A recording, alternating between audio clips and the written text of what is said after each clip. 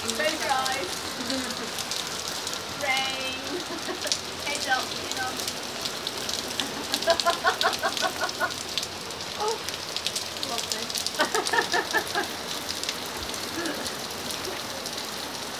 At least like free cleanser. oh god. Look how it's coming off the shed. Wash your hair, Roll.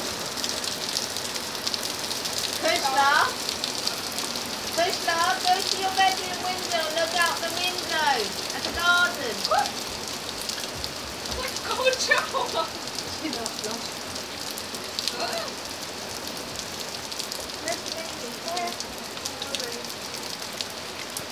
What can I say? I'm just a reckless teen. Now I don't have to wash your uniform.